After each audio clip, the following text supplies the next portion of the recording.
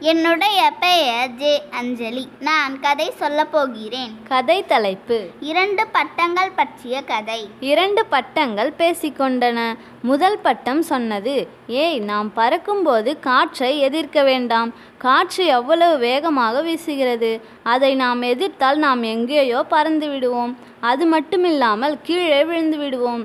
எனவே காற்று வீசும் திசையிலேயே நாமும் பறப்போம் என்று சொன்னது. ஆனால் இரண்டாவது பட்டம் சொன்னது எதையும் எதிர்கொண்டால் நாம் வாழ்க்கையில் உயர முடியும் என்று கூறியது. முதல் பட்டம் சொன்னது யாருக்கு எதுவும் சரி என படுகிறதோ அதை அவரவர் விருப்பப்படியே செய்வோம் என்று கூறியது.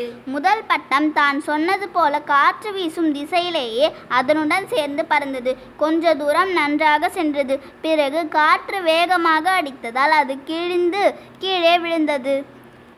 இரண்டாவது பட்டம் தான் சொன்னது போல காற்றை எதிர்த்து எதிர்த்து பறந்து சிறிது நேரத்துக்கெல்லாம் வானில் உயர உயர பறந்தது. அதனை எல்லோரும் தலை தூக்கி பார்த்தார்கள். இரண்டாவது பட்டம் போல் வாழ்க்கையில் வரும் கஷ்டங்களையும் துன்பங்களையும் நம்பிக்கையுடன் எதிர்கொண்டால் நாமும் வாழ்வில் உயர்வோம். நன்றி.